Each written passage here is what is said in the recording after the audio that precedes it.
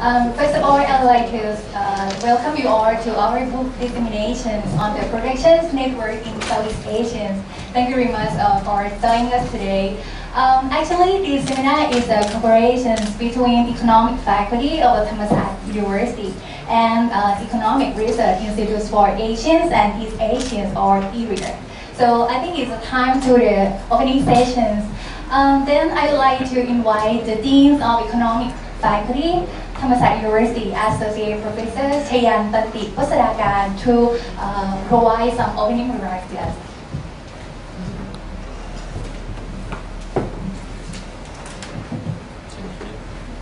Uh, on behalf of the faculty, I would like to welcome Professor Kimura, uh, Chief Economist of UVA, UVA researchers, colleagues, and distinguished guests to the Faculty of Economics, Thammasat University.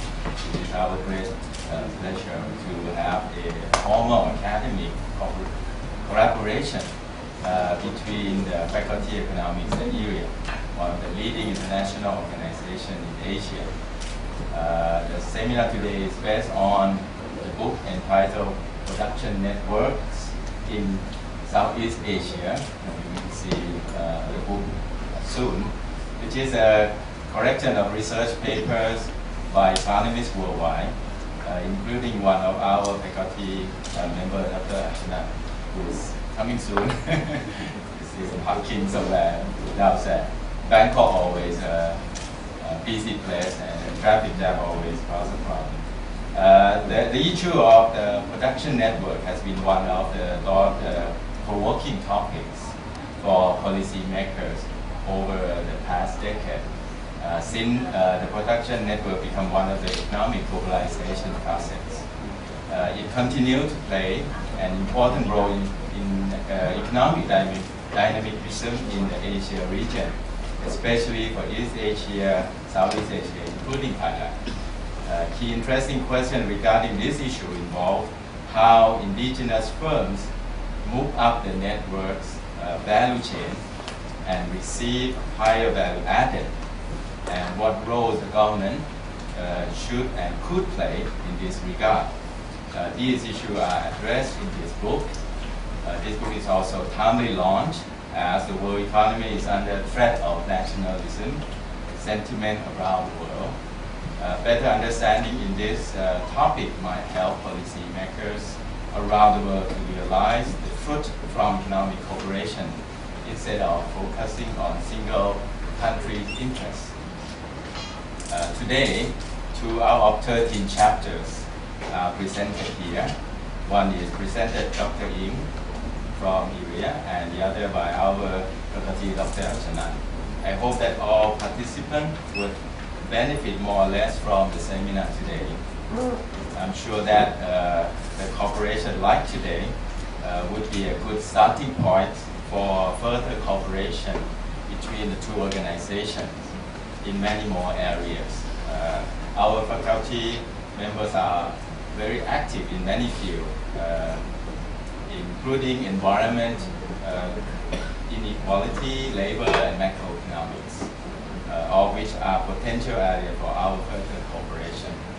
Uh, without further delay, I would like to end my opening remark here and invite all of us to hear the remark from ERIA for our uh, cooperation. So please, Professor Kimura. Um, uh, uh, uh, Chayu, uh, faculty economics members, and also uh, ladies and gentlemen. Uh, thank you very much for coming, and it's, it's a great, great honor to have this kind of uh, occasions, and really appreciate uh, some faculty University. Uh, ERIA is uh, uh, research institute, actually an international organization established in uh, 2008. Uh, we uh, we got uh, seed money from Japan, actually collecting some other money from uh, uh, Australia, New Zealand, India, and also ASEAN.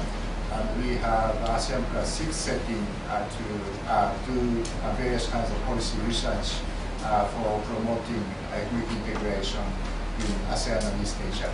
Uh, actually, I've been uh, chief economist uh, from the beginning, and uh, leading uh, the contents of research activities. we have three big pillars in our research.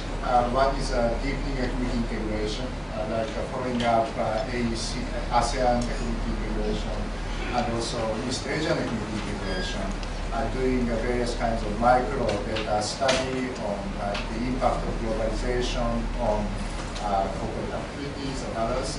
And so the second pillar is narrowing development gaps. Uh, uh, how to promote the small medium enterprises and also how to uh, enhance innovation.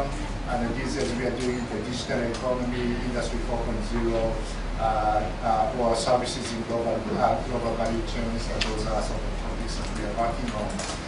Uh, the third is uh, sustain, sustainable development, uh, so some environmental issues, and also uh, we have a pretty uh, big chunk of research on energy issues. those are the, the, areas that we are working on. We are not really doing much on macro monetary issues, but micro aspects of the various phases of economic development. That's our topic. Uh, we are running about uh, 40 research projects a year. Uh, we, we, are still pretty small, only 15 economists. That means that they are pretty busy, but trying to keep some academic quality as far as we can do. Uh, so hopefully that we will get more participation in our research activities uh, from the faculty members and uh, researchers. For this project, the title is Production Networks in Southeast Asia. this is a survey of uh, the, the, current status of production networks in, uh, in this region. Uh, so some, some people say that after, since, since 2013 we had some sort of a slowdown in the world trade and uh, some people say that production networks, global value chains may not be very important from now But uh, we really do not share that uh, understanding. Actually, the mechanism of uh, doing this kind of international production networks uh, would be very, very important and it's, it's, it's continuously important, uh, particularly for this region. ASEAN and the uh, surrounding East Asia are sort of forerunners of utilizing this kind of mechanism in order to promote, speed up economic development. Thailand is one of the forerunners, as you know, particularly in manufacturing activities, uh, connected to thick international production networks, at the same time forming industrial agglomeration, and then actually uh, Bangkok metropolitan area is a pretty efficient industrial agglomeration to utilize international production networks. So uh, still uh, some of the countries in ASEAN, uh, say starting from uh, Cambodia, Laos, Myanmar, are in the process of coming into production networks and also uh, in Indonesia, the Philippines, and uh, Vietnam, uh, still in the process of forming industrial agglomeration. So many countries in ASEAN can learn a lot from Thailand's experience too.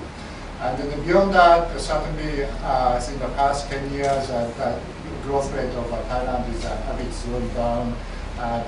Maybe due to a political situation, but maybe due to some sort of difficulty in moving up from uh, upper middle income to uh, fully developed economies. Uh, so, uh, so certainly what we can do uh, for manufacturing activities and how to get the technology transfer, technology spillover to upgrade innovation, uh, that will be one of the challenges that, that Thailand is facing, maybe Malaysia too.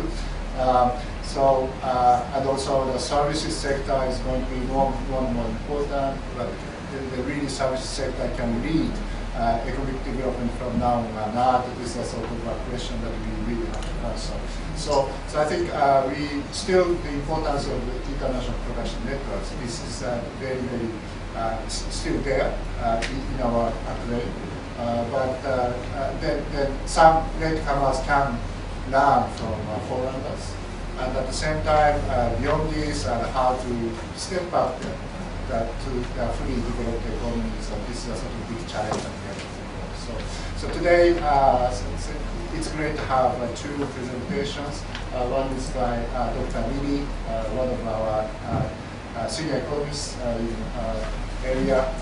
probably she will go over what's going on in each country, each country, and also uh, we are utilizing uh, uh, various kinds of data sets or information uh, including, say, trading value added and also uh, various kinds of trade statistics, domestic statistics.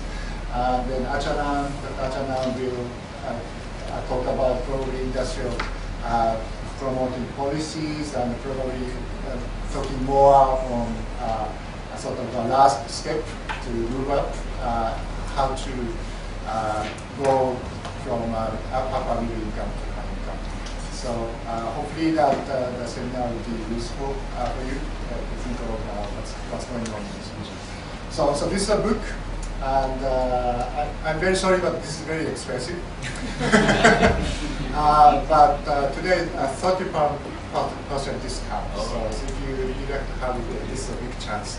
So, so, but I have one complimentary copy for the dean. So. Oh. Thank you so much.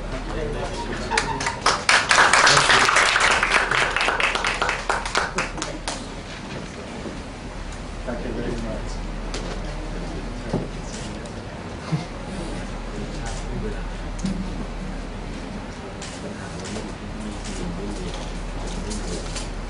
Uh, sorry, expensive. Thank you very much, uh, Professor Kimura and Professor Chiang for interesting remarks. And now I think it's time to the first session. Um, I'd like to introduce the, today's moderator, that is uh, Assistant Professor Juthati Jomoni. Please welcome her. Actually, uh, Professor Juthati, she's currently a lecturer in the Faculty of Economics here, and she's expert in macroeconomics especially monetary economics, international trade, um, international finance, and so on. And now the floor is yours. Uh, Thank you, Ajahn Wanisa, for introducing me.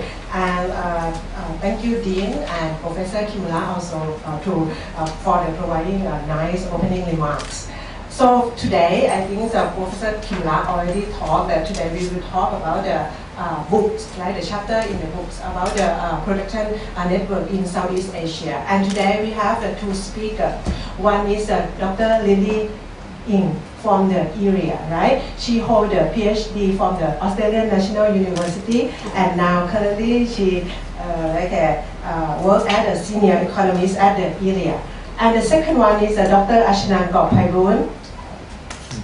He is uh, our faculty member, and uh, she also he also hold a PhD from the Australian National University, and now he is an associate professor in our faculty.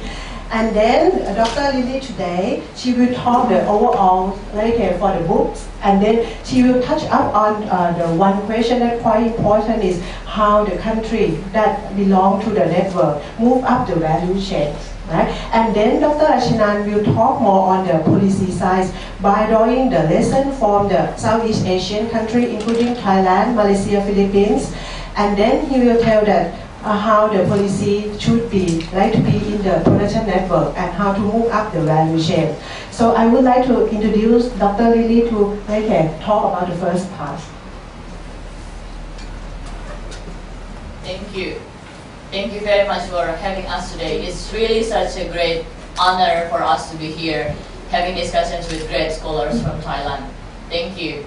Uh, in these sessions, let's discuss productions networks in Southeast Asia.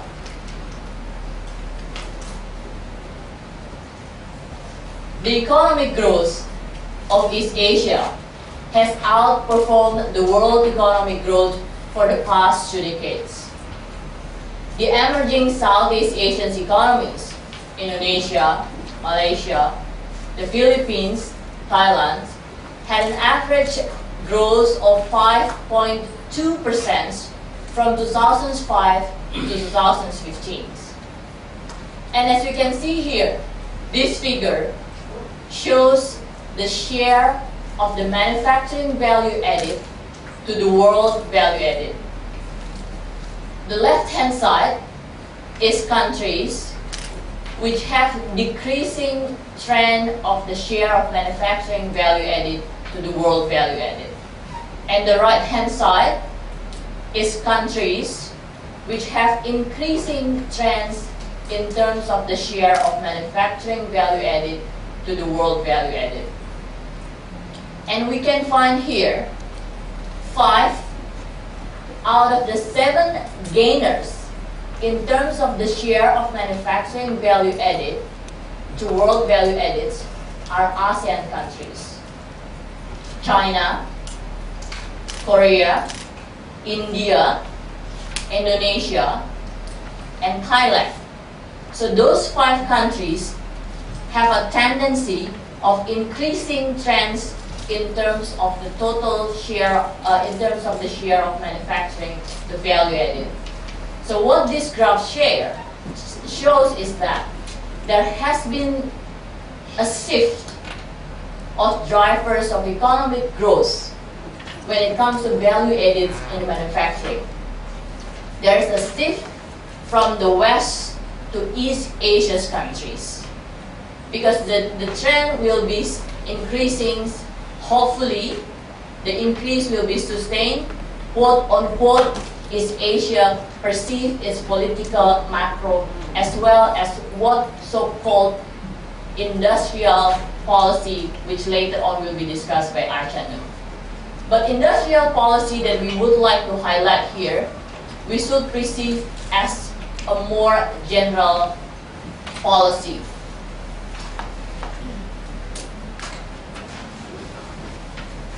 The, the increasing trend of the share of manufacturing value added to total world value added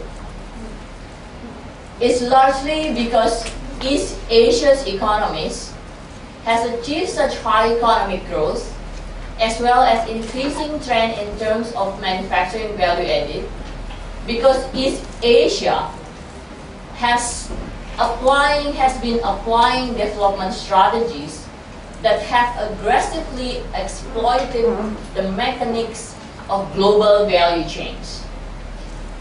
Based on trade in value added, Asia accounts for more than 50% of the world's automobile productions, 62% of liquid display screen, 86% of smartphones, and 100% of digital cameras. So we can see how much East Asia and Asia has connected to one another and then leveling up its value added in the manufacturing sectors, particularly related to machineries and automobiles and electronics and their components. Now we're gonna see case study country by country for the six main Southeast Asian countries. Indonesia, Malaysia, the Philippines, Thailand, Singapore, and Vietnam. The main question is that what does increasing value added mean? And how can a country increase its value added? When we are talking about East Asia, we cannot run from China. It's always the case that China is the hub of manufacturing industry in these regions. So the main questions recently is that what are the impacts of the growing Chinese economy? What will be the impacts of Chinese trade to ASEAN trade? This study is conducted by Professor Yu and, Miao, uh, and Xiaomi. And what they find is that in the trend of, in terms of total exports, so if we analyze using the total exports, we can see that Chinese exports to ASEAN will tend to promote ASEAN's exports, while China's exports to the world will crowd out ASEAN's trade. So it's gonna squeeze the competi- it's gonna uh, it's gonna increase the competition and it's gonna squeeze ASEAN's trade. That's if we see based on the total exports. But if we look into deeper, based on the value added the story is going in the opposite directions. So China's exports to the world actually will increase ASEAN's exports. Largely because China imports many of resource materials from ASEAN countries like Indonesia, Malaysia, and uh, Thailand, uh, such as fuels, minerals, plastics and rubbers, uh, plastics as well as rubbers and the material inputs uh, for machinery products. Now, in the case of Indonesia, this study is conducted by Triputra and me. We use firm level, this is the first study that combine firm and product level data. Indonesia has manufacturing survey, uh, which covers large and medium enterprises. Uh, we run it every year, so it covers around 3,000 firms every year. This study covers from 2000 to 2011, and then what we find is that a reduction of 1% of input tariff will increase Indonesia's firm productivity by 0.02%. The reasons of the increased productivity is because of firms opening up trade policy, firms can get access to cheaper input or to better quality input, or both. That kind of getting more access to input increase productivity by the fact that now a firm can improve its product quality as well as product variety. In the sense of exporting firms, exporting firms tend to have higher productivity than average firms because it has increased variety and quality of the products. But the foreign-owned firms have a tendency of higher productivity, but they do not necessarily have increased variety and quality of the products. The reasons is that exporting firms, they tend to expand their export markets, right? So they try to invent new products. They try to find new markets. But foreign firms who are based in Indonesia, they have the market already in Indonesia. So that's one of the reasons that they both have increased productivity because now they can get access to lower price inputs and better quality inputs.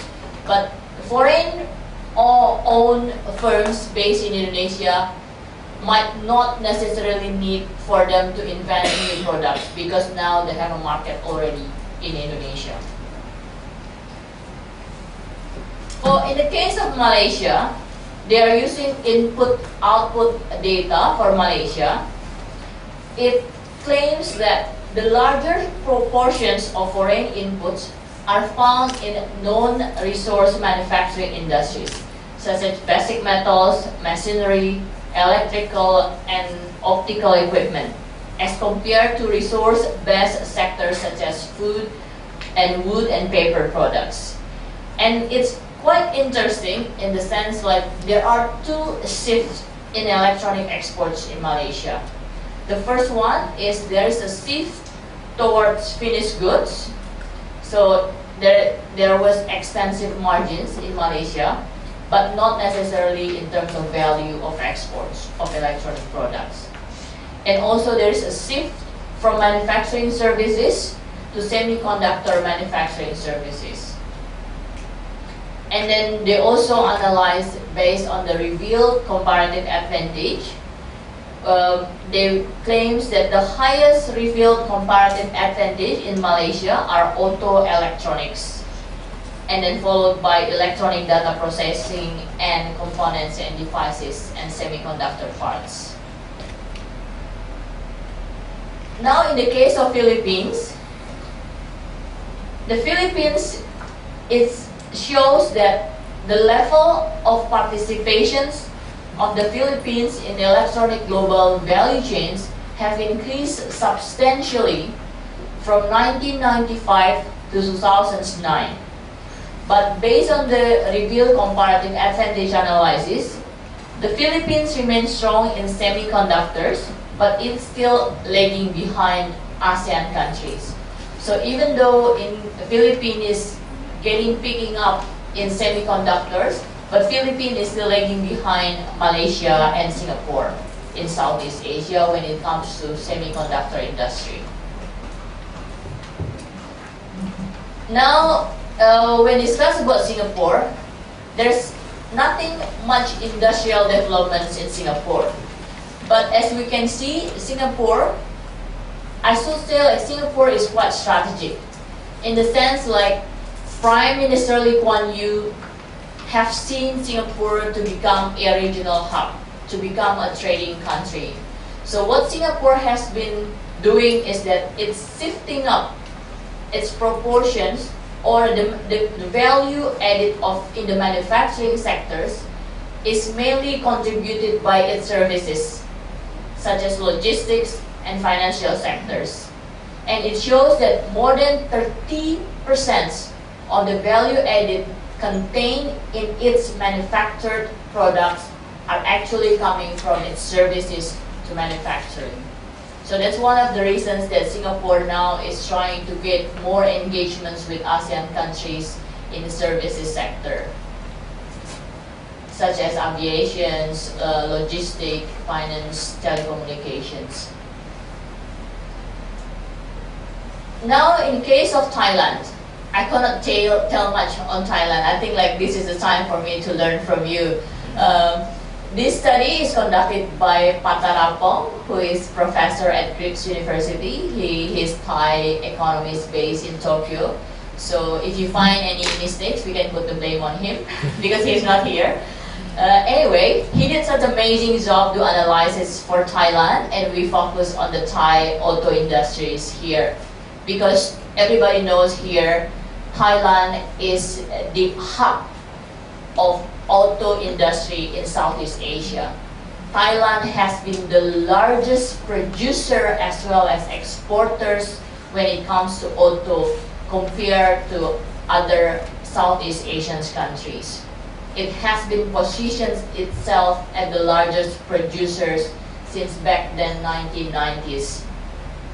And now uh, Thai can produce up to 1.8 million unit cars. Um, the second one of the largest auto producers is Indonesia. I'm from Indonesia. But we are not competitors. So Thailand and Indonesia are not competitors. Thailand now is really focusing on the one-ton pickup trucks as well as sedan, while Indonesia is mainly producing the nine-seat passenger cars. So we are actually complementary. And then in terms, and, and we can see here, even though Thailand is the largest auto producer in Indonesia, when it comes to, we use the analysis of intra-industry trade. So what, how much the intensity of trading between Thailand and its main trading partners in auto industry. And we find is that Thailand basically imports compressors from Indonesia, imports diesel filter from Cambodia, imports airbags from the Philippines. That's kind of production networks that Thailand has been developed uh, in, in Thai-based industry. So what the main message of this chapter is that Thailand local content requirement policy. So back to the early 1970s, 80s, Thailand adopted local content requirements, which means that the car has to have certain level of content, content uh, local content requirements. So those components should be produced in Thailand. But it says that it didn't work at that time. Thailand failed to develop uh, auto industry at that time. But now, what Thailand did is actually very smart. Lately, Thailand developed openness and more technology upgrading policy. If I'm not mistaken, Thailand has the research centers and collaborations with university. Thailand also upgrading its workers by sending out for trainings. Thailand also have a really uh, good centers for workers for auto industries. But correct me if I'm wrong. This is just something that I learned from the books. So I really need your advice uh, on this, and I would very much look forward to also having discussions with other industries uh, that you think might be important for us to highlight in the production networks. Next, uh, when it comes to Vietnam, Vietnam is, is a very unique country. It's growing extensively when it comes to trade. It used to be a very close country, uh, but since uh, early 2000, say 2005, I think like the growth of uh, Thai exports has been growing uh, massively lately. If we see here, based on the trade in value added, actually the ratio of domestic value added to total exports of Thailand decreased from 76, uh, 17, 6%, sorry, 79% in 1995 to 64% in 2009. As we can see here, the black line shows the ratio of domestic value added to total exports. And the column graph shows uh, exports and imports of Thailand, uh, of Vietnam. But as we can see here, the decrease in terms of the share of domestic value added to total exports is accompanied by increase in total exports of Vietnam with an average annual growth of 20% from 2002 to 2017.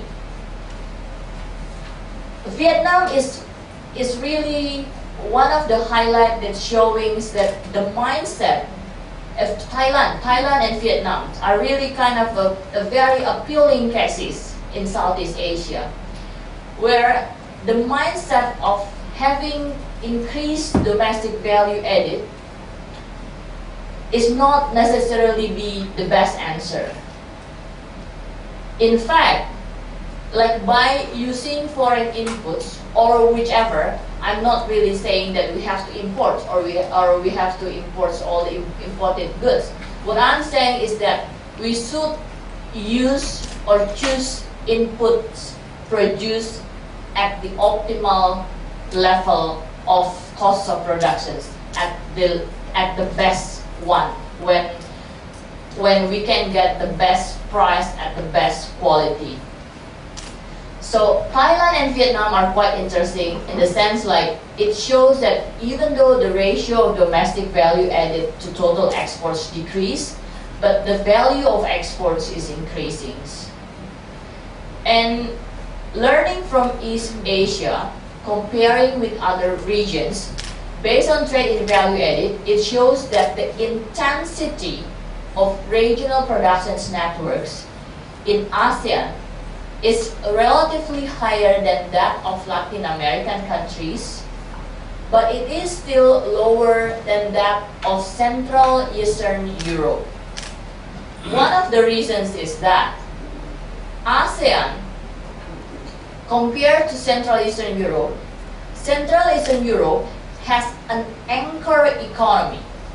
It has German, which is the source of final demand for trade, source of investments, as well as technology. So it's self-contained. But in the case of ASEAN, ASEAN can be a regional hub. But the fact that ASEAN cannot be self-contained, the fact that ASEAN still relies the final demand still coming from the US and Europe, and to some extent in Japan and Korea, investment largely coming from Japan and the US, and source of technology largely coming from Japan and South Korea. So in that kind of sense, what we suggested is that ASEAN might or, or sh should consider to get into being more integrated with East ASEAN countries, particularly Japan, Korea, and to some extent now China, as China is growing in terms of source of investments, a little bit of technology, and of course uh, in terms of final demand. So to be able to make more intensity in terms of productions networks, the kind of regions should equip themselves with demand for final goods, technology, as well as investments. So the key message of what we are doing is that first, Trade is growing, and production is slices. Task is fragmented. We fully understand that there has been increasing anti-sentiment of globalizations these days. Not only not only in Europe, not only in the U.S., but it's getting uh, also like the sentiment is, is growing everywhere. One of the key messages is that now we can see that specializations, are, are there any of you, uh, probably I can see many students here, I, I presume that you have taken international economics, right? How many of students? Like you're, you're taking international economics already, right? so looking back into the basic international economics theory, we learn advan eh, we learn the, the absolute advantage, right? And we learn comparative advantage, right? But it's no longer country comparative advantage. Nowadays, specializations is really firm specific, product specific, and worker specific. Nowadays, with the technology, you can be your own producer. You can sell your own product. Just getting access, you can sell your products throughout the world. So that's kind of growing technology and the mobility. Now, I don't know how many of you travel to Europe, travel to US, or at least I believe many of you travel to Bali. With this kind of increased technology, increased mobility, increased uh, in terms of mobility of labor and technology and data, nowadays we're no longer talking about country comparative advantage. It's really firm specific advantages. It's really product specific advantages. It's really you specific advantages. Now Archanun is working with ERIA and international organizations and his publications can be worldwide, right? So this is kind of making policies should be designed such that not to protecting jobs. I think everybody is not a big fan of Trump, I know, but I just want to emphasize that protecting job is not the answer. If you're trying to produce everything by yourself, see, see in ourselves how many products that we can produce. Shall we plant rice? Shall we teach? Shall we deliver letters? Shall we cook? Shall we drive our car? Shall we do everything by ourselves? Right? Right? So it's really product, it's really your specializations. What would be the best thing that you can do to achieve the optimal level of productivity, right?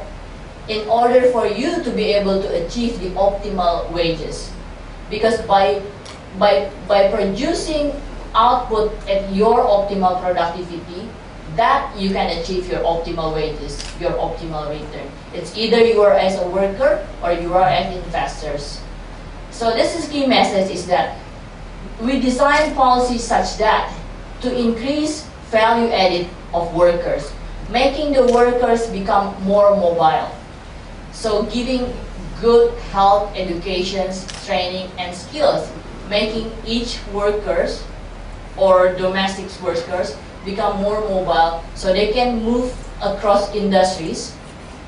My parents used to work only one job for the like he is running business and he's doing it for the rest of his life. Nowadays look at your your your surroundings. I believe one of you might change seven times jobs or probably three times jobs in a year, which is very common. Because what? Because now you're getting more mobile, right? You're getting yourself more, more mobile. You can do analysis for, for macroeconomics. You can change to econometrics. You can do change to Bank of Thailand. Next day, you're going to change yourself, become entrepreneurs. So this is kind of policy that we advocate to government, making workers becomes more, getting more skilled, more educated, and more mobile. And then the second one is another important thing the increasing global, uh, increasing anti-globalizations really making us to think we should protect domestic producers. We should protect. Think about value added. Think about this is the clothes. And then how much that the inputs cost of these clothes. The producer has to pay for the, the clothes, button, thread, and all the accessories and designs. So for example, we come up with 10,000, uh, 1,000. And then we sell the product 1,000s and 100s. So the value added is 100, okay? The value added that we are doing because, because we design the product, for example. Then if we are thinking to produce everything, we produce the button, we produce the clothes, we design, we marketing everything by ourselves. We are thinking that our producer, domestic producers can do everything. And even we try to produce what we used to import, right? This might increase domestic value added relative to exports. But the main question is coming back to, is it really the optimal level that you want to achieve? What we find is that it's probably, again, I have to highlight, it might not be the best. I'm not talking about the best options or the second options policy. But what I want to highlight is that it would be okay to have a decreasing ratio of domestic value added to total exports. But at the same time, we expect that the total exports should increase. Okay, so it's actually just about uh, numerator and denominator. So probably like the, the, the share would be decreasing, but if the decrease is coming from increase in exports, that's fine. German has been always importing 72% higher than French for the last three decades. But Germans always exports around double than that of France. So that's something that if I can bring it into the case of developing countries, and this one is the case of developing uh, developed countries. So this kind of mindset that we would like to share. Again, I'm not, I'm not, or we are not advocating that imports are the best. You know, what we are advocating is that we, as economists, government officials, scholars, we have to think to get access for the producers, to get access that can good get access to the inputs that produce at the lowest cost and the best quality ever. So by having getting more access, by having more openness in terms of trade and investments, we give more access for our domestic producers. We facilitate them to grow. And again, we don't need to pick one of the winners. Most of the time, government is always good picking the loser, right? And then most of the times, the losers is always good picking the good government. They're very good lobbyists.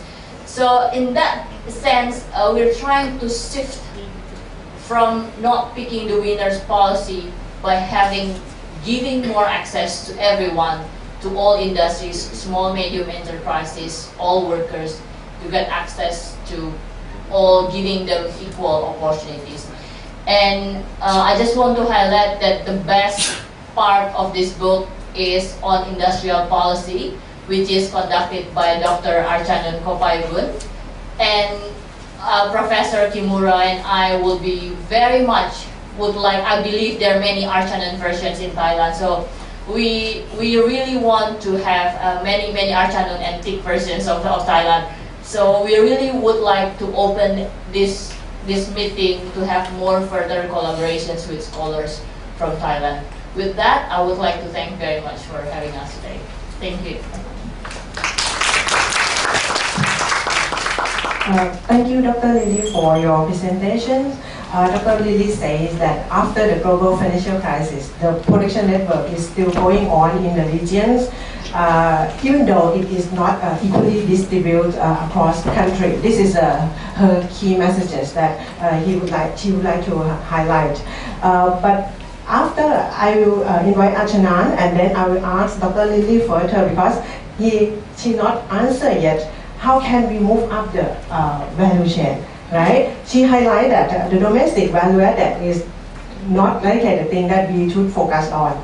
If you have uh, the low domestic value added, but we still be able to like export, right? The export value is increased, we happy, right? But how we like increase the value added, right, in our country. I will come back on this issue later. Now, I would like to invite Dr. Archanun Kohpaiboon to present about the uh, industry policy, right? He draw with Professor Hal Hill, he draw the lesson from the uh, some successful case in Southeast Asian country, right? Thailand, Philippines, right? Malaysia, and then what kind of the industrial policy that government should have to be successful in the production network. Now the floor is yours, Ashana.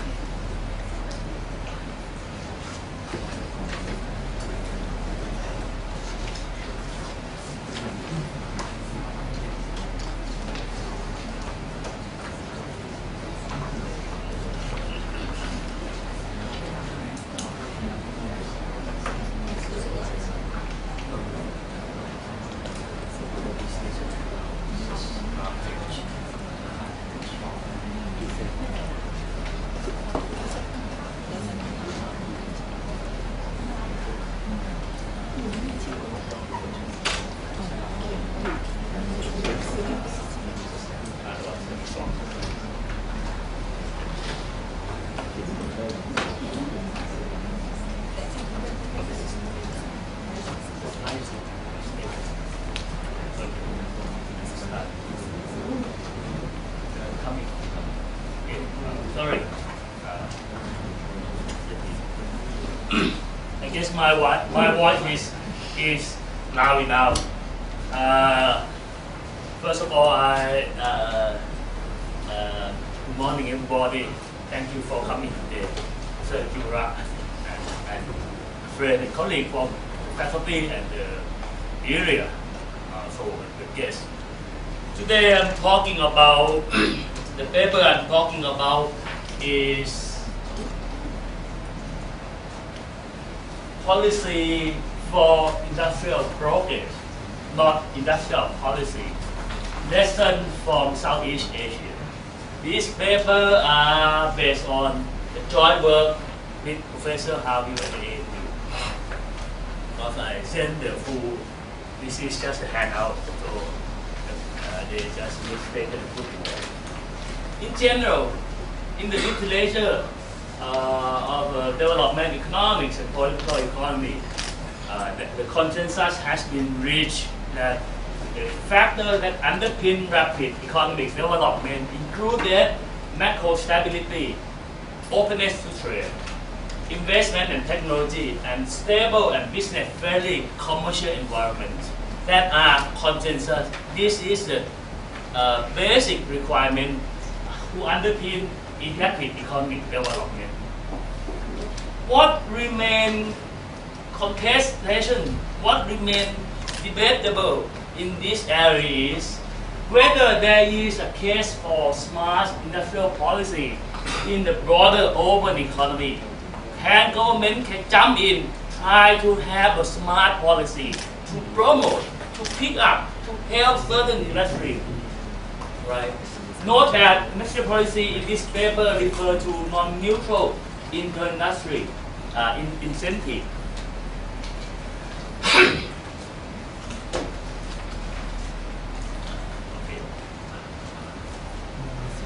Argument is here. Usually they believe that if you observe some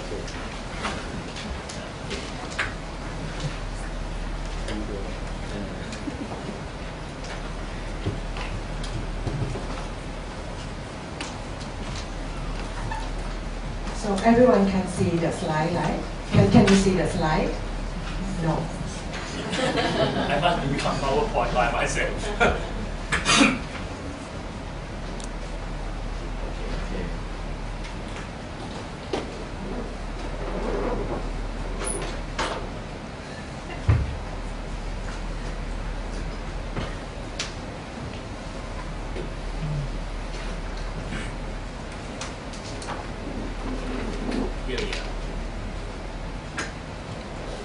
Typically, the argument center on the dynamic externalities, learning by doing, linkages, various form of technological acquisition that will not be forthcoming if left to the market. If you're not doing the, anything left to the market, this kind of good thing might not take place. That is the argument focused on. Uh, much of the, the, much of the thinking have drawn on the experience of East Asian development, Japan and Korea in particular, which uh, the, they, they have a policy make that did not conform to the uh, free trade that much of what's called the Washington Consensus. Right. So that is the, the state of debate. They try to look at the, this experience of East Asia and try to see what they do to have a success. In this paper, uh, we try to contribute to the, to the literature with the examination of the Southeast Asian experience with industrial policy. Our approach is deductive and inferential. We pick up four success cases and try to examine the factor behind this growth and the role of public policy in this outcome right? Four of them is Thai automotive industry, Malaysia, and the internationalization of higher education, Philippine business, uh, uh, business process outsourcing service, Cambodian garment industry. Why? Because are country specific. We draw, we draw out some broader generalization in the conclusion. We try to see each case and try to take the common uh, finding in each case and draw the lesson policy lesson from this success case. Definitely, we focus on success case and and uh, why it occurs for the obvious reason. Success is more elusive than the failure. Right? We are interested in case where the same country have experienced both success and fail in sector promoting effort. A finding that suggests an institutional knowledge approach to understand industrial policy uh, is necessary. My presentation today, I will focus largely on Thai automotive industry for two reasons. This is my competitive advantage compared to Harvard. and second is, although the industry is often regarded as one of the most important business policy success in Southeast Asia, I will touch on other uh, experience like Malaysia, Cambodia, and, and Philippines as well. Generally, the policy setting in automotive.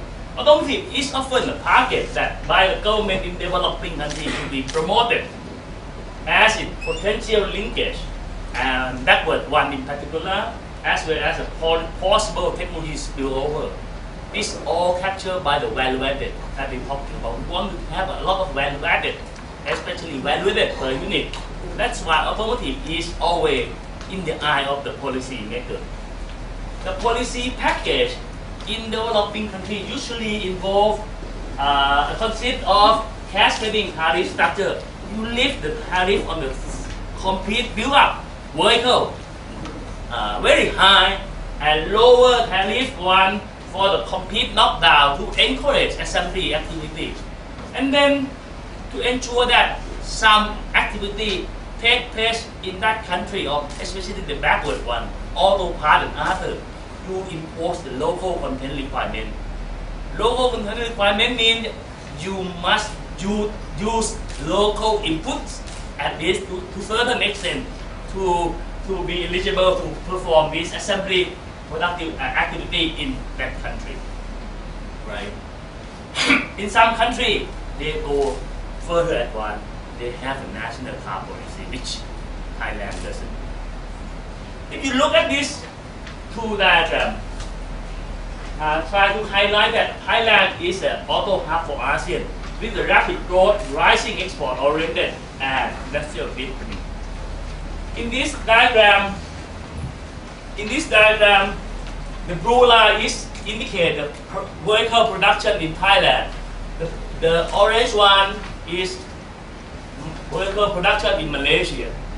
In around 2000, we are more or less the same level, about half million vehicles.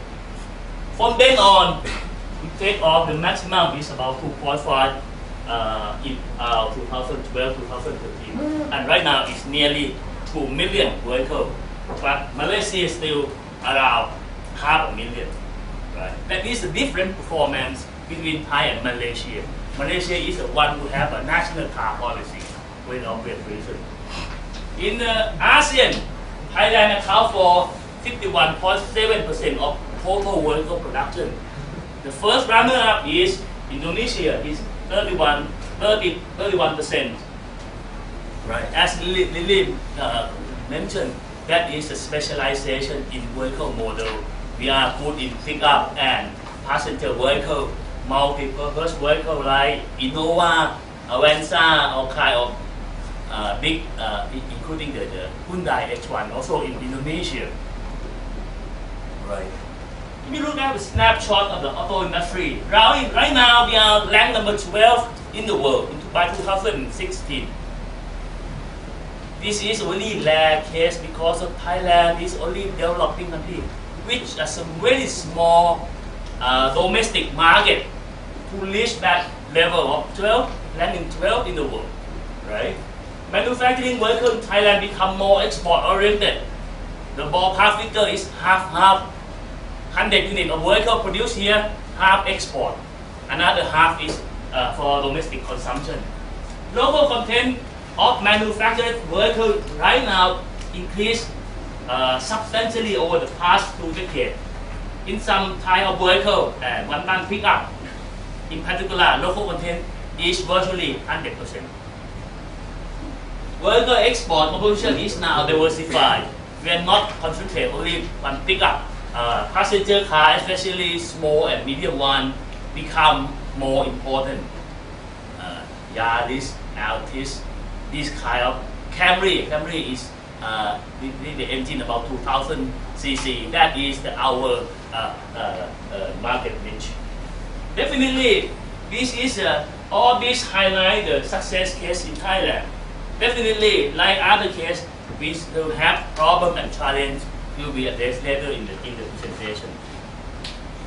How important the government policy in this success? Many believe that the current success is attributed by the government policy. The local, in particular, the local content requirement (LCRM) uh, was introduced together with the smart pickup. Uh, pickup. Smart pickup. It means it start with, the, with one ton pickup and then move to eco car. Kind of smart. Many country in the world, when you travel, like, oh, Thailand are so smart. You know, the timing pickup is going down. Pick another one. Is right now eco car, small car become another niche. Then another, eh, they're going to pick another one. Very soon. But in fact, there are several facts that were largely ignored so far, and so that the role government policy to success has been overstated or misinterpreted to some extent.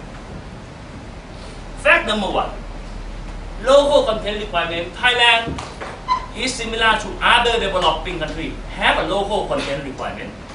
But the local content requirement in Thailand are pragmatic approach. Pragmatic means we are not just top down. Okay, I want this, I want that. You are the car maker, must do this and that.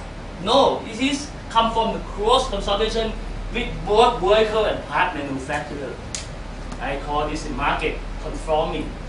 The former involvement was to ensure that the measure was practical and acceptable, not just out of the blue. Okay, I'm to produce engine. Tomorrow you have to have engine in Thailand. That can that is not the case for local content in Thailand. They consult with the car maker. Which one is acceptable? Which one is no too much, right? Whereas the role of the car part supplier was to inform the government about firm existing technological capability. Can you do that? Are you able to do that?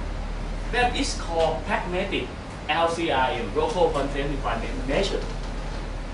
LCRM used in Thailand between, for example, LCRM used in Thailand between 1986 to 2000 is a, a point system. A point system means each part was assigned a score. and you have to, to use this part up to the required score, which is 54%. The parts have been separated into compulsory one, account A, and selective one, account B. So you have to combine both of them. Interestingly, as I say, pragmatic, account A dominated by quasi non-traded parts, which means when the car maker have operation in Thailand, this part must be acquired locally. It, to, it, it, it, it very costly to import battery uh, or many part of auto body. This is really bulky. You cannot just okay import some various part for the for the uh, uh, uh, mid-range of vehicle. It's too expensive. So you have to uh, have a local production anyhow. So local content requirement give a, lot of score in this part. and then uh, this is example. And the other is, in this case is, for the account A is 20%, 20, 27 mark, 20 out of 27 is about the auto, trim panel, auto body and accessory. It means it's easy to combine. It's not very restrictive. So punchline is, in practice, actual local content in, in the formula was far lower than official target. So the local content requirement measure were unlikely to have, have prohibitive adverse impact on car maker. You are not forced them too much. You just talk with them and pick up something that doable, not just leapfrogging to, to, to, to some uh, sophisticated parts. That is the first fact about the local content requirement. Second is the timing of the trade liberalization movement. Sometimes maybe good luck. During the, mid 1980s, there, there, there were a major structural change in the global automotive industry. The principal automotive market, North American, Western Europe, Japan, which account for 90% of global sales, were growing slowly. The growth is on emerging market economy. So car maker began to focus on this economy. At the same time, the government in number of emerging market economy began liberalizing their automotive sector through a lot of FTA at that time. NAFTA, Mercosur for Latin America, NAFTA for North America, and AFTA as well. At that time, AFTA we start talking about liberalization, and by the time at, at the time that AFTA was introduced, many people, many countries are not ready. That's why they have the, the, the complementary scheme, AICO, uh, uh, uh, in place while waiting for AFTA to be fully effective. Thailand also undertook a policy reform to deal with a major structural change in global automotive industry. Now, uh, Thailand start liberalize at that time, while the other moved in the opposite direction. Malaysia strongly insists on insists on having a national car policy, both on Indonesia, uh, one son of the uh, President Suharto had a discussion with the car maker about to have a national car policy. So uh, that's that's make Thailand is basically is only first feasible spot at that time if you want to put the car in that region. Right. As a consequence of this global uh, structural change, all, uh, MNE auto firm have to select regional base. One region you have you can have one or two production base, and then that production base circulate sell the rest of sell to the less of the region. This is a diagram that that that reflects that Thailand had been picked up first to produce a lot of uh, pickup and small passenger vehicle, whereas Indonesia come a bit later but take the multiple mul- multi-purpose vehicle like Honda Fit, Toyota Innova, Avanza, or Chevrolet Spins right, and circulate to the rest. of the uh, Southeast Asia. right, as I said, we respond to the change very good. We we we liberalize and then we change the focus of the policy to one-time diesel engine, which uh, uh, today presentation I might not have time to discuss.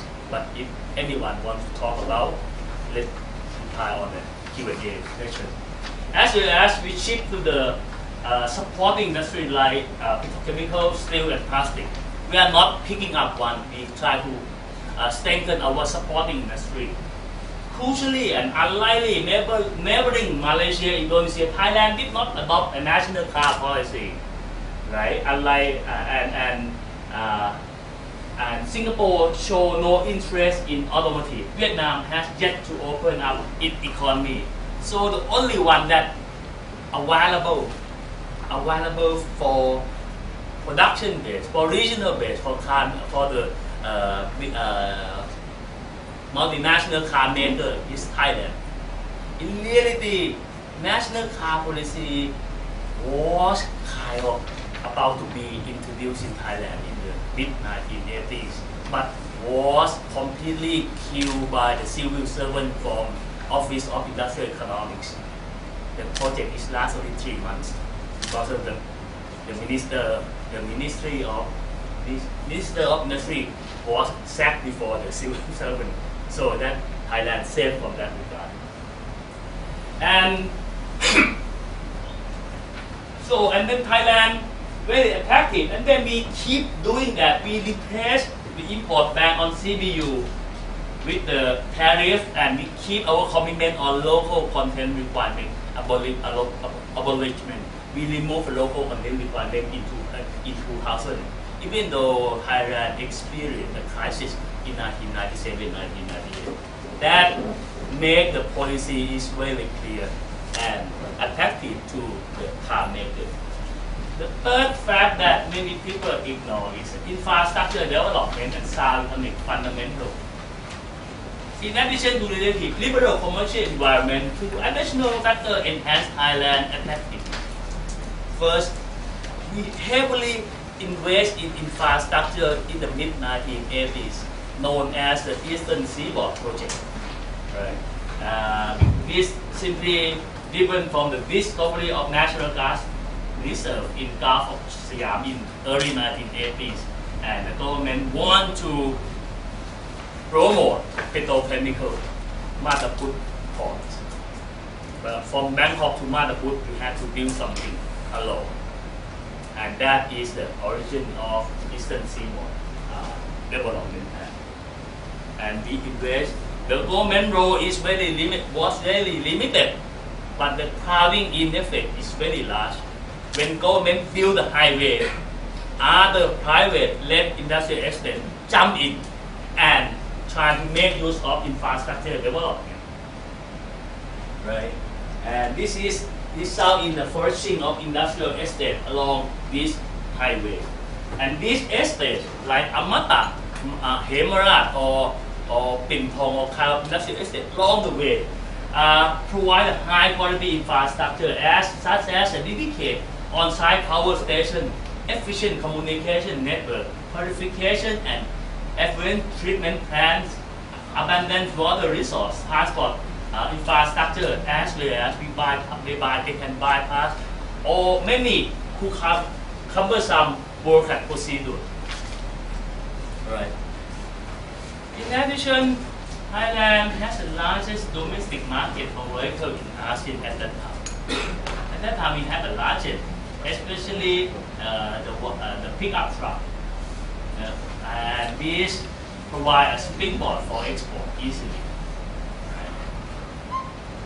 Uh, why demand is so high, especially for the pickup truck, is partly because of uh, the policy, trade policy toward pickup was relatively less restrictive than passenger car the excise tax is lower, tariff is lower. So that means uh, uh, the price of pickup is lower than compared to passenger car, and that creates a lot of demand. Right. And that's explain why we start with the pickup. Not, not really the government intention to, to, to, to choose pickup truck, but by design of the tariff that create the demand for pickup. And many car makers grab that. How about the eco car policy? This is the second round of pick, pick, picking up. Eco car policy act, actually, uh, again, this is a market conforming and flexible implement initiative. This is not the actually the, the eco car project was really uh, was was introduced in uh, about the late 1990s uh, during the Mr. Tarrin Nimmanahaeminda, his second term as a finance uh, finance minister. But the, the, the, the proposal has been uh, put in the under the table because the oil price at that time are very low. And it realized again during uh, 2007 when the oil price, world oil price hit 70 dollars a barrel. So people said, oh, we need to have a vehicle car. And, and, and the government, general project, uh, Chu- Chulanont uh, administration uh, undertook this initiative for where we produce small, environmentally friendly, fuel efficient vehicle, many further bird in one shoot kind of thing, right? But if you look inside, this is the kind of project. uh. Chua. This is this is the detail. The key key the key element here is the main fiscal incentive under this project is lower excise tax. Lower excise tax have a very big implication for for the final price of the vehicle in Thailand because the excise tax is on top of the tariff, right? And, and if you import the car, tariff 80%, excise tax 30, 33% on top of 100, uh, on top of the tariff, say 100, 100 dollars per car, you pay 80% of tariff, the price is going to be 180. And excise tax is based on 180. It means it's uh, very prohibitive. So when you lower the excise tax, that kind of thing, that make the proposal become attractive. And at that time, the political economy on this policy was, was quite complex. Some some car makers opposed this proposal because of their production portfolio was dominated by pickup, and they would not want to lose this advantage because pickup also receive a really low excise tariff. But actually, the detail that the detail about the project is come from one, one come from a car maker. Car maker, one car, make, car maker submit this realistic proposal about about sorry about this the production capacity, fuel efficiency, Euro 4, all kind of this thing come from a car maker proposal. One car maker want to create a niche. They develop this and submit for possible promotion to the government. The government considering it and, and take it slow until consensus is reached.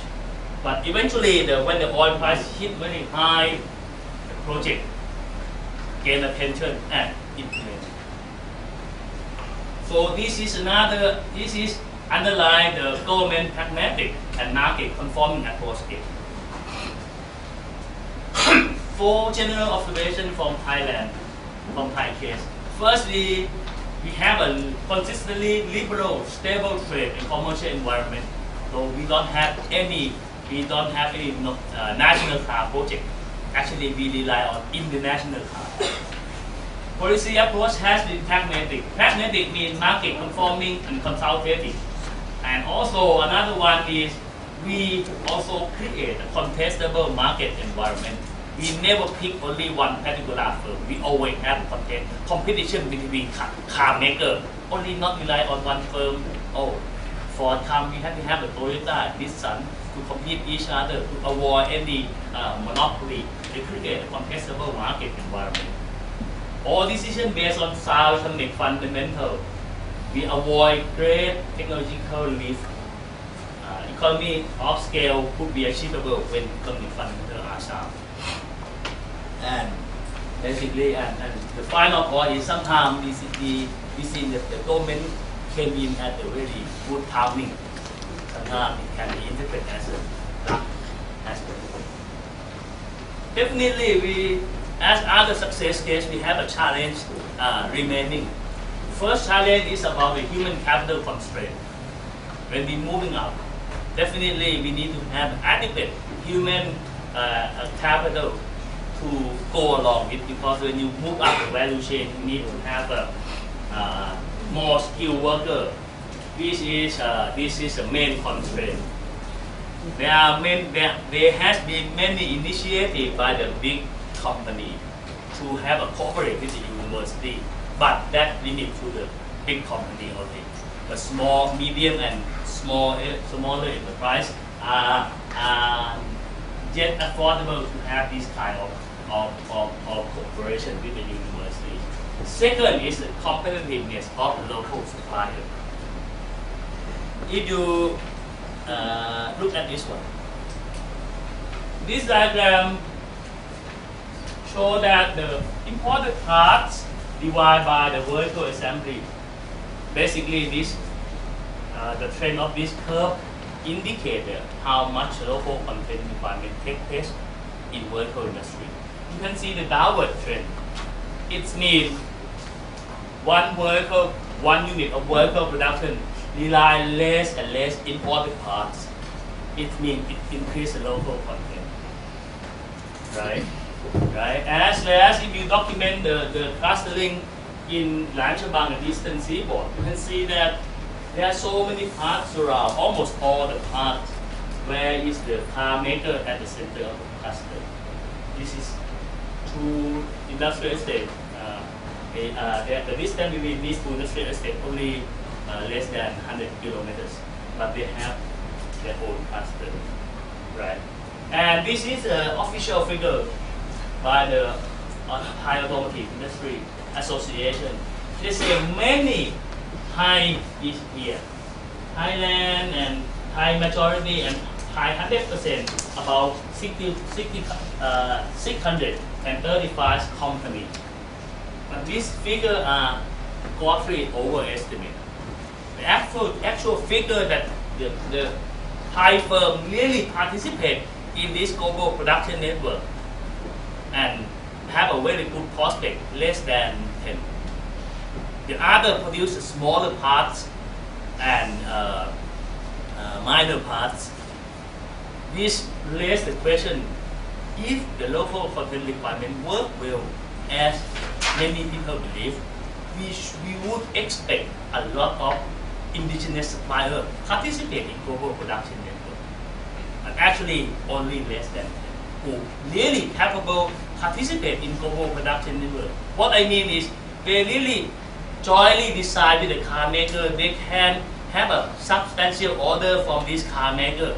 Only few, less than 10. I cannot reach, I count many times along uh, for the past 10 years for this firm and that firm is less than 10. Less than 10.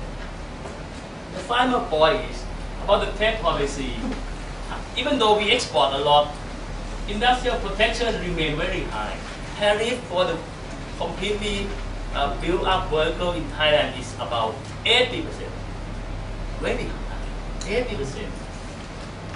And this and the coexistence of high protection and rapid export growth is explained by car maker cross-subsidizing market to detriment of high, of high consumer and well beyond it possible in France, Africa.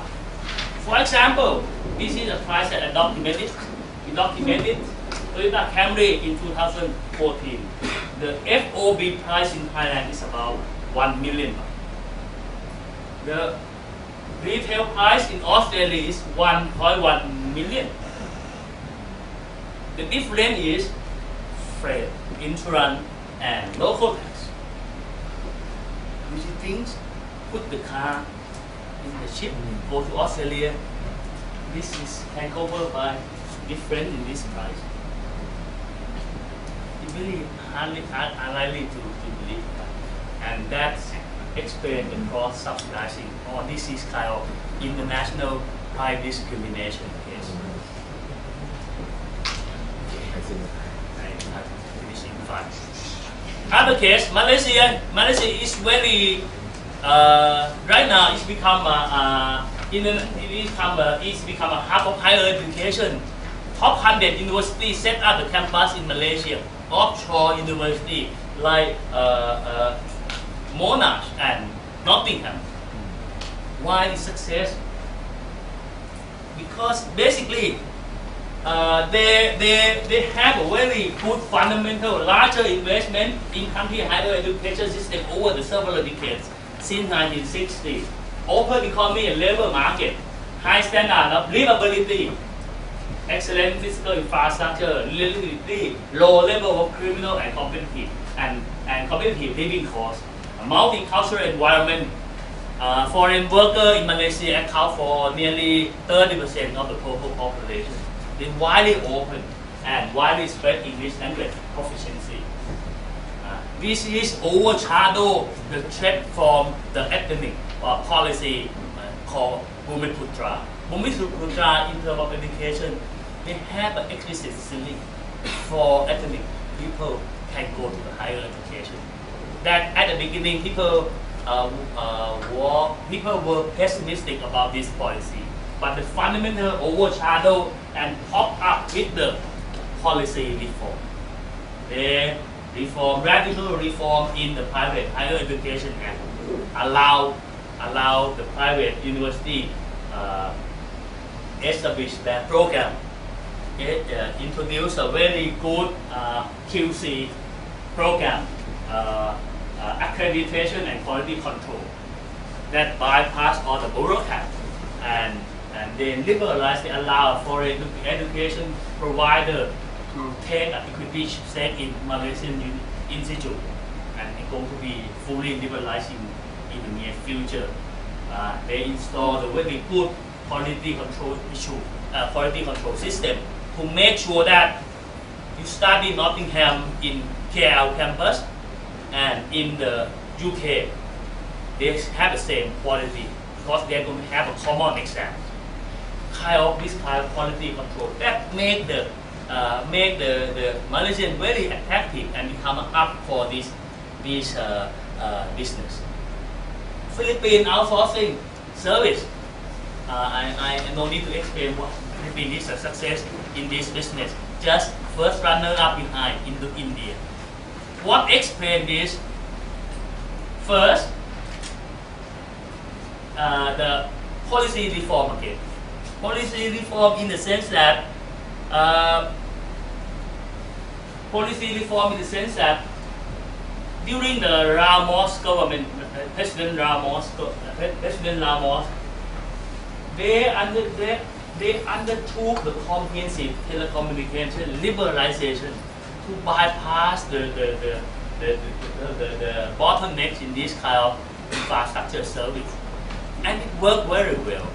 This work on top of the global technological evolution and information and communication technology. They come together at the same time. That's why hit the boom.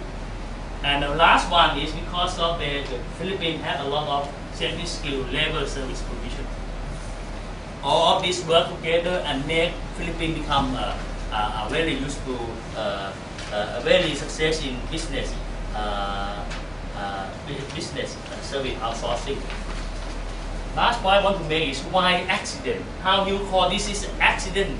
Uh, accident industrial policy. Accident is the Philippine case illustrate the, the, the, the show the case that we need to careful some detail before we draw a conclusion.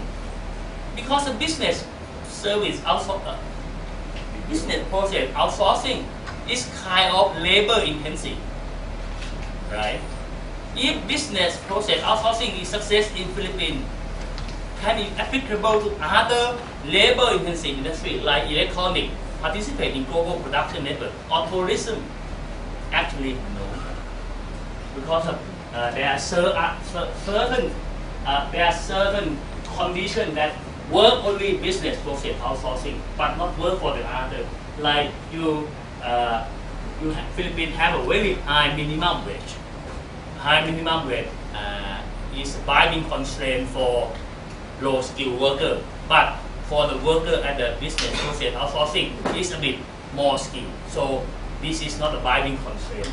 And the tourism industry in Philippines has, has been uh, uh, performed badly due to the poor transportation and security concern. Right? This is not applicable to business process outsourcing aspect. Let me skip the, the Cambodian case and go to the lesson. Six lesson, six main conclusion from from, from our analysis.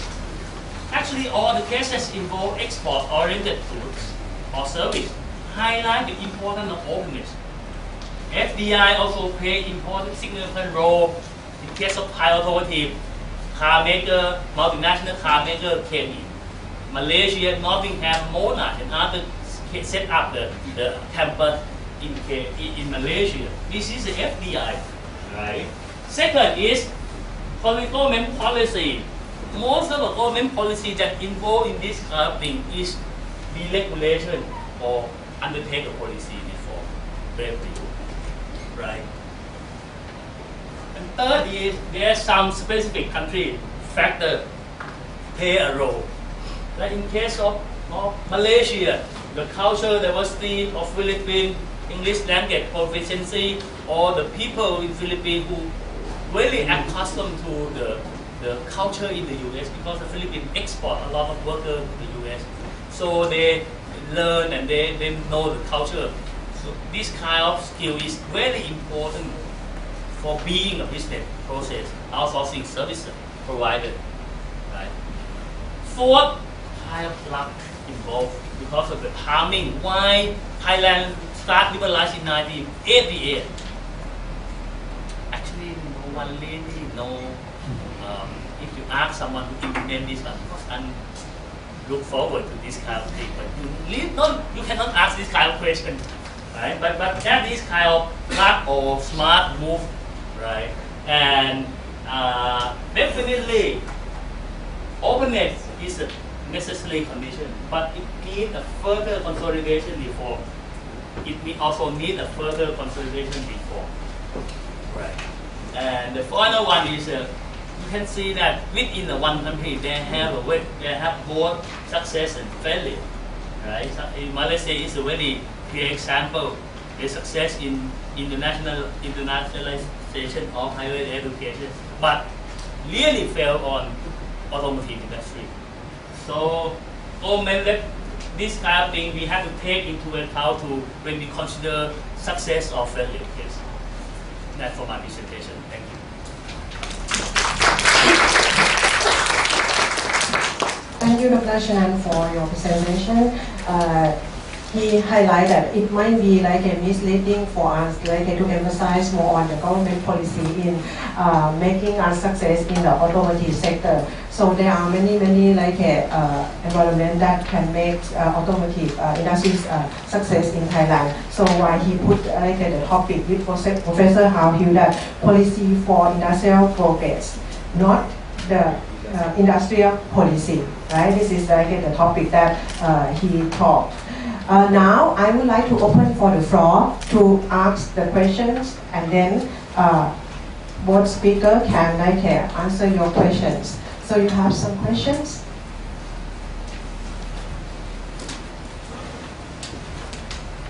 So if yeah, or have the questions, please. All right, thank you. Um, First of all, um, Paul Vandenberg here from the faculty. Uh, I want to thank you for very interesting um, presentations on, on, on very important topics for the economies in Southeast Asia.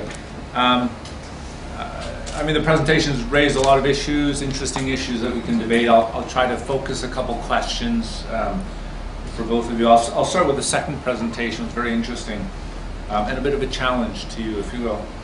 Um, this comparison between Malaysia and Thailand in the auto industry, you, know, we, we hear that a lot. One's a national car project, one is not. One's been successful, one's been not. Um, two, two points. Some would argue that the comparison should be Thailand, Korea, not Thailand, Malaysia. Korea also had a very successful national car project or projects, and so i- is the comparison right? That, that's one question. The other question is part of that. Uh, when you start to look at um, Korea, um, Malaysia, and Thailand is um, was was Malaysia's um, apparent failure in developing a successful car industry um, the result that it chose the path of a national car project, or was it the way they implemented the national car project? Okay, so that, that's one question. And, and that's where it becomes interesting to look at Korea, because some people will say, you look at Korea, you look at Malaysia, you compare them, the national car projects or the efforts to develop a national car industry. Um, Korea did it right, and there were some cr critical things that Korea did right that Malaysia did wrong okay, especially the ensuring the competitiveness so that the, the value got up. So, so that's um, that's generally my question. my second question, just uh, another one is um, you talk about you know picking winners, and we're not always sure about it. This means firms or sectors. I wonder what you think about the current the government's current effort with these what they call S-curve industries, where it's picked a number of industries, sort of industry 4.0 industries, and is it uh, is that a good policy or is, is that not a good policy to pursue? I don't want to get you in trouble here by asking the question, but I think, I think it's an interesting question. Um, I, I, think for our, our uh, Lili, the, the, first presentation, which I, I, think did a very good job of setting out some of the, the key issues about value change and so on. Um, to me, one of the big interesting questions is sort of in the context of middle income trap, are we seeing are we seeing shifts um, of these networks because of sort of rising labor costs in some countries that may be shifting industries or parts of industries or tasks, if you will, to other countries? Are, are we seeing that happening?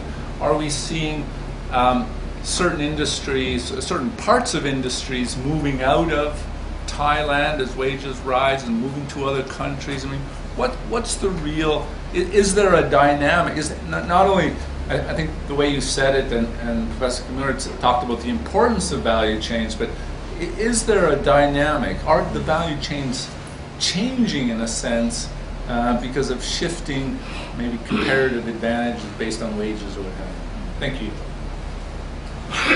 So thank you, Paul. So uh, Archanun, could you reply, Paul, please? Okay. Uh, that would be very interesting comparison, Thai and Korea.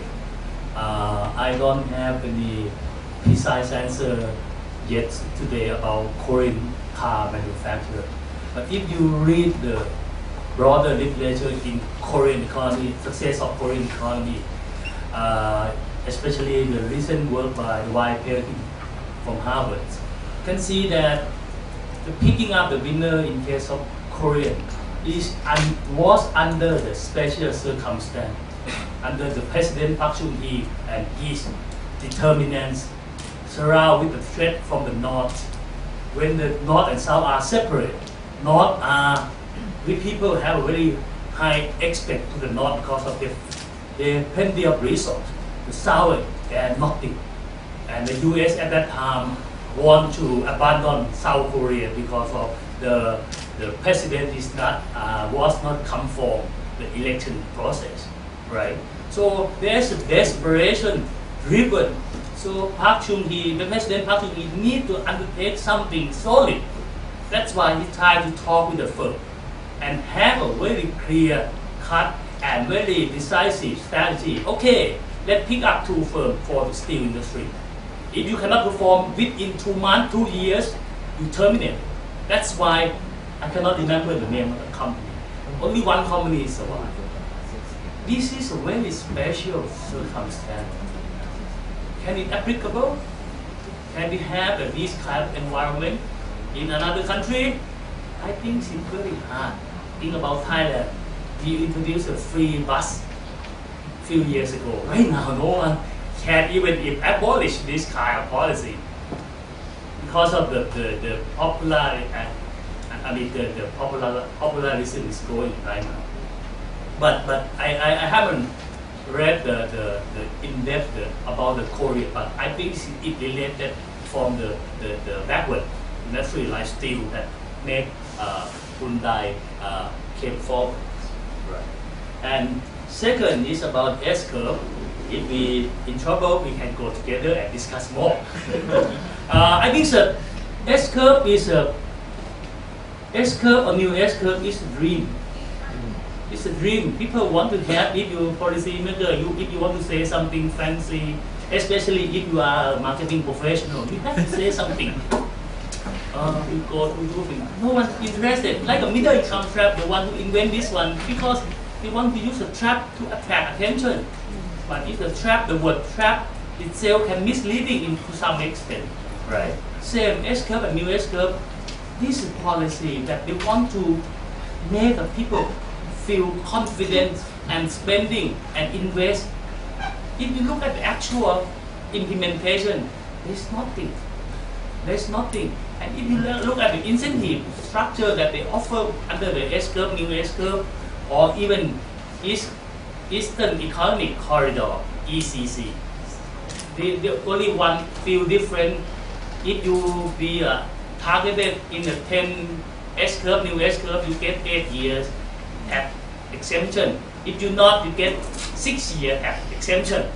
This kind of minor difference would not have much impact. But for the policy maker, they need to show something on topic. That's all. Uh, before before I answer, please kindly allow me to invite Professor Kimura. Probably you want to share your insights. So if you have any difficult questions, you can give it to him. I, I can only take the easy ones. Yeah, yeah, on your questions, uh, certainly uh, production networks are probably very dynamic. And if we go back to the sort of the fragmentation theory, uh, what, what sort of uh, countries, locations can come into production networks? Two elements. One is uh, locational advantages, like uh, uh, low wages, low wage labor, or availability of skilled labor. The other is a sort of service link cost to connect to production blocks. So, so I think that uh, the production networks are uh, more potentials to exploit or explore as a lower wage uh, as advantages uh, because they can really fragment tasks and production uh, processes rather than the whole, whole industry. So, but at the same time, uh, service cost is very important too. So, so that's why it's not really go to African countries, for example. So, so uh, suddenly, uh, so there's, there's a potential for Cambodia and Laos to attract certain amount of, uh, uh, say, production blocks, but still link costs are not really good, uh, or location advantages, including uh, some policy environment, may not be very good enough.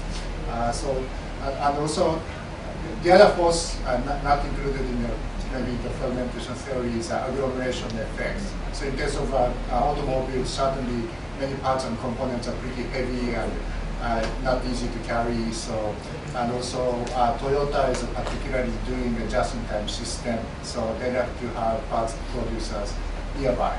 So, so I think those are sort of uh, opposing effects, uh, but potentially uh, fragmentation would be would have a lot of uh, capability of moving some specific uh, labor-intensive uh, uh, tasks to other countries. So, so in that sense, I think much more dynamic than all the industries. That's my view. If I may, one point in the case of Thailand and Korea, I think like Korea and Japan, particularly Japan, Japan used to be supplier for the US car industry for 30 years before Japan developed its own auto industry. I think one of the reasons Japan and Korea are quite successful, they have a very good uh, basis of the steel. Because now, including Thai and Indonesia, they still import steel from Nippon. And Korea has quite basis good steel industry. That's why Korea is very successful in auto and ship industries. And then the second one on the labor wages. That's very true. One of the reasons that moving, like Professor Kimura mentions, one of the attractive factors is labor costs, input costs, as well as uh, services link costs, which covers logistics and, and other things. But that's only one part of attractive factors. What we find is that there are two main issues that concern most of the firms to make them be able to improve its value added or to make them to get into production networks. First is that labor quality matters a lot. So, I mean, we can tell probably garment industry might be affected a lot by cost of labor. But other than labor intensive industries, they're really concerned more on the labor quality. And then the second one related to labor is labor market flexibility. So they, uh, the firms wants to invest in one country, they're really looking into account all labor regulations, how much labor flexibility uh, in terms of hiring and firing workers, in terms of bringing skills from overseas, uh, in terms of those seniors on board in that kind of firms. So I think like those kind of two issues, labor quality and labor market uh, flexibility, that matters a lot terms of production standards. Thanks. So other questions? So, yes, please.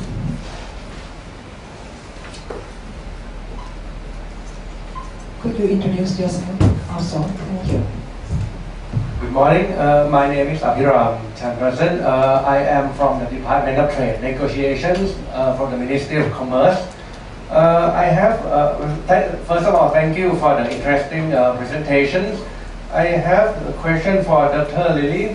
Um, you have highlighted, uh, you know, certain countries that have been, uh, you know, gaining in terms of uh, manufacturing value trade in the world. Especially, you have drawn attention to two ASEAN countries. But these days we talk about inclusive development in ASEAN.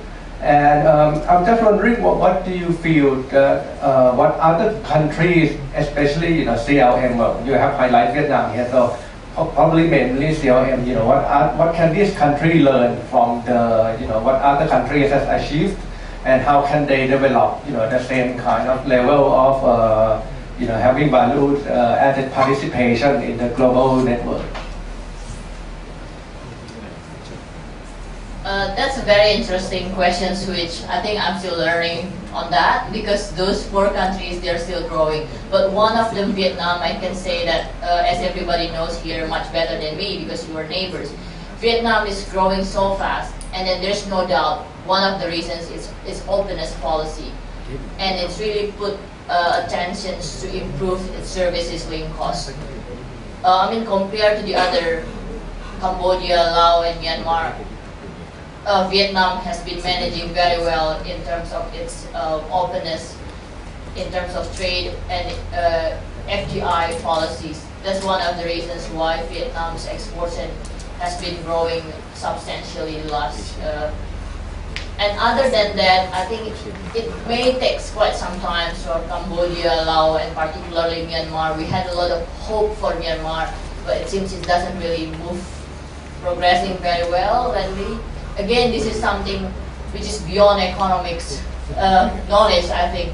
Um, but in terms of economic, ASEAN economic community, it's good in the sense now they are in the loop, so they have a commitment of trade liberalizations, even though we have special treatments for them in terms of trade liberalizations, we allow them until 2018. And then we also have special treatment on sensitive fees for those uh, three countries. And I'm very happy that you are here because you're part of trade negotiators, right? I, I really hope there's something going on between ASEAN and its trading partners. And that's one of the reasons that can bringing up those four countries um, to be more integrated. Probably Prof- Professor Kimura also want to add more. Um, I think it's a, uh, uh, the production networks are uh, a sort of combination of technology from the north to uh, a of in the south. So in in that, in that sense, um, uh, latecomers have a lot of chances to come into production networks. And actually, manufacturing-based production networks are generating a lot of employment for relatively poor people. So, so in that sense, uh, so that, that really addresses uh, very strongly a sort of uh, equitable development. So I, I think this is a very important feature. So think about Thailand in the 1980s and 90s up to maybe 2005. Uh, so generate actually generates a lot of employment uh, for, for relatively poor people. People are moving from rural to suburban and also uh, informal sector to formal sector. So, so I'm quite sure about the super rich people. But uh, talking about the sort of uh, bottom in, uh, in terms of uh, income level, uh, so uh, this kind of uh, uh, industrialization generates a lot of employment. So are there questions? Yes, please. Hi, uh, my name is Tan from Sinaka Review um, uh, I was very impressed with the uh, presentation, but uh, it's kind of quite kind of puzzle for me to understand that one of the main points that I learned from with the um, with the Lilith um, presentation is that you don't have do not have to worry much about the uh, the ratio of the domestic value added but as long as the, the export values keep increasing. But then, and then the example is the case of Thailand and, and Vietnam as you cited. But the, um, this the presentation from Ajahn Archanun, we learned that the uh, local content is quite common, in the automotive industry. Even in, in, in the case of, of, of, Vietnam, I think we also worry much about the decreasing uh, ratio of the domestic value added. So um, so, so probably we should carry about both the ratio and, and, and the denominator or just one. Because in, in the case of Vietnam, for example, we, we are kind of failed in the automotive industry. We opened the, um, the country level for 30 years and could not create some supporting industry and backward linkage. And now we move up to the electronic uh, industry and think it is one of the targets. So um, just wondering whether we should carry both or Okay, I think that's that's a very very important uh, issues which is we're trying to answer in this book. Um, one thing is that increasing domestic value added, like I emphasized in the beginning, I'm not saying that I'm not advocating to reduce the ratio, but what I'm saying is that increasing domestic value added or domestic value added itself can be affected by a larger of number. First, the size of the economy. Second is in terms of the industries that is growing. So like you're talking examples of auto industry. Auto is usually forming agglomerations, while electronics is more kind of cluster, which is very special. In terms of auto, like Archanun mentions, because some of the components might be just too costly or too too too costly to bring it into the neighborhood because the component is quite big, it's quite large, right? But in terms of electronic products, you can ship it by airplane. So that can be very specific. So that kind of electronics uh, industry might not necessarily be form agglomerations. Uh, so those kind of size of economy and then kind of industry that is growing that shape different kind of the trend of domestic value added, right? But the main highlight is that it's simply just numerator and denominators. What we try to advocate in this book is that if we, it's, it's fine if domestic value added over exports is growing naturally without really a pushy interventions but what we worry is that if the mindset of the governments think that increased domestic value added over exports is important. And they try to produce everything by our by by in domestic. That's something that worries us. Like the growing trend of anti-globalizations and try to produce everything within domestic.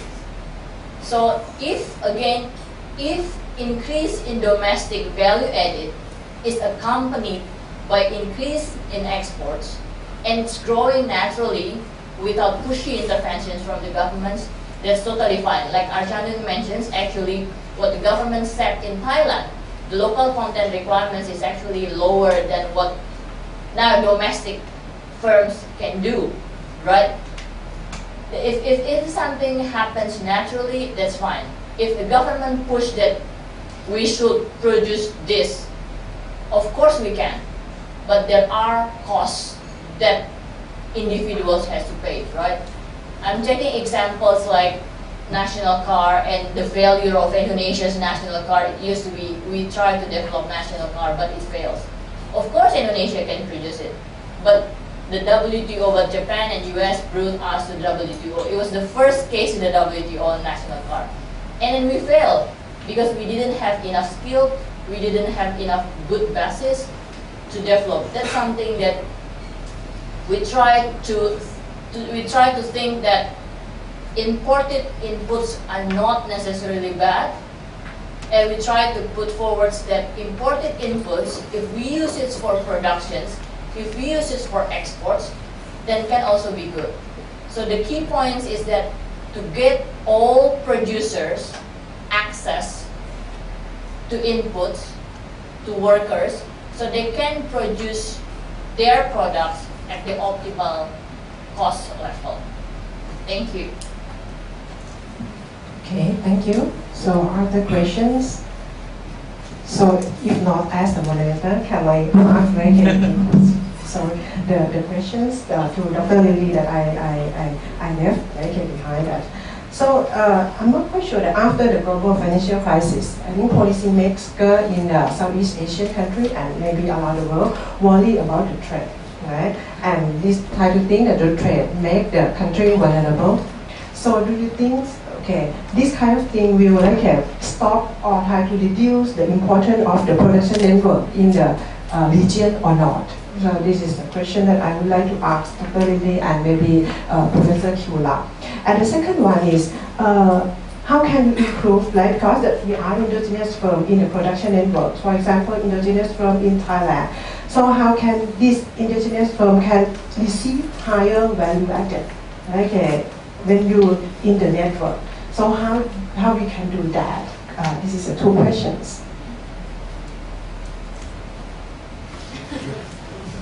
Um, the first one, I, I think uh, um, still among ASEAN countries, uh, some are really participating in production, some are not completely. So, so we still have a sort of uh, uh differences across countries and regions. But still, um, uh, so in that sense, still the latecomers have potential to come into production networks more easily. So, um, and, and for uh, foreigners, including Thailand, the sanctioning cost is already pretty low. So, the firms and the industries are choo choosing uh, a, a, sort of optimal balance of agglomeration and fragmentation. So so, so, the ratio of uh, the, the, part of the fragmentation may go up, may go down. Uh, I think it depends on the sort of optimal choices of uh, uh companies. In case of China, actually, uh, in the past 20 years, they need a lot on some processing trade and others. That sense, they are uh, more open than the kind of optimal in a sense. So the ratio of agglomeration effects will be a bit larger in, in in the past five years or so. And it's a sort of natural choice. It's not really coming into a sort of really uh, closed domestic economy, but they are open, but still uh, the companies would like to see a sort of optimal balance of agglomeration. So if you just look at the a sort of ratio of uh, foreign value added, uh, that, and that would be affected by many factors. So, uh, so if you just look at that, maybe that is reducing for some countries like China. Uh, but uh, it, it's not really, it's not necessarily uh, the, the fact, uh, based on the fact that uh, they are coming in a really domestic, uh, economy. So, so I think that's uh, what we observe right now. so, so that, this kind of international division of labor itself stands in the near future too. I think they still uh, the way of uh, doing for international division of labor uh, is uh, still remains very important in the, in the, in the coming years too. So, so we have to uh, be careful that just look at the sort of uh, export import divided by GDP or foreign value added ratios. those are not the sort of single indicator. Uh, the participation of uh, domestic players, that's definitely very, very important. Um, in case of uh, uh, ASEAN particularly, uh, still the key industries like uh, machinery in general uh, is pretty much dominated by foreign companies. Um, that itself is not bad, but I think uh, definitely the domestic uh, players should come into production networks over there. How far they can do that, and that's also a really big, big issue. In case of Thailand, uh, that's relatively good in the penetration, in terms of the penetration of uh, uh, domestic companies into uh, parts producers. they're, they're actually doing that capability of doing various kinds of um, uh, process innovation and uh, others themselves. But how far they can be a sort of uh, very strong players to conduct, say, sort some product innovation and kind of di different levels of innovation, that's, that's still a sort of question mark. So, so I think uh, uh, in, in, the, in, the, era of uh, 1950s and 60s, where when Japan or Korea with, uh, that, that was before globalization. Okay. So they, they could do various things by domestic uh, policies. But now, so now we are in under globalization. So, so that's why they can utilize foreign companies to speed up industrialization. That's a good aspect. But how far uh, domestic players can catch up with that, this is still a sort of big challenge. So I don't have a very clear answer, but, but look at Malaysia and Thailand, probably process innovation can be done. But beyond that, really is something else. That, that's what I, am thinking of. Yeah, if, if I may, I think like it's again coming back to the basic. Uh, I see that many many students here. So I think like it's, it's again uh, to highlight the importance coming back to basic microeconomics, which is access to good quality worker, access to capital. This is something that still we need to improve because most of the time, uh, I don't really know in the case of Thailand, but in the case of most developing countries, if you want to start your own business, there's supposed to be a guarantee. Then how can small business have a guarantee? They're small business because they don't have any capital and access, right? So I think, I don't know, somehow the government should think about access to capital for small and medium enterprises. Um, and the, the, the fourth one is sorry the third one is access to inputs. This is related to more openness. If we become more openness and then small medium enterprises get more access to inputs from all over the world. And the last thing that i have to highlight is that i think you highlight a very good questions. Something that we have to work together it's not happening yet in developing countries is competitions policy. So it's allow it's it's good to have large firms to invest in our country and then let them to, to share, spill over technology and such and such. But it's also very important that we have to against monopoly and oligopoly. That's how I think to manage kind of fair competitions for small and medium enterprises to grow. So when we allow more openness when we allow more investments. But at the same time, I think it's also very important for us to enforce competitions policy as well as a firm kind of business and firms law enforcements. So for example, related to wages, related to worker welfare, related to uh, social welfare for workers. There's some things that it's still kind of a big homework for developing countries to work on. But competitions policy is one of the key that we have to work on together to increase the level of ability of uh, to, to make small medium enterprises to be able to get access of fair access to the market. Thank you. Thank you so much, uh, Dr. Lili and uh, Professor Kimura. So do you have other questions? So if no questions, right, on behalf of the Faculty of Economics, Thammasat University, I would like to thank everyone right, very much uh, for uh, joining and participating here today for the special seminar. And the seminar team would like to make a thanks ERIA right, for uh, these collaborations uh, for the seminar today. And we hope that we will have the uh, collaboration like this in the future right, very soon. We are inviting scholars from Thailand. Okay. And then now I would like to uh, invite uh, Assistant Professor Dr. Chulothorn Gansantisuk Mongkol, right?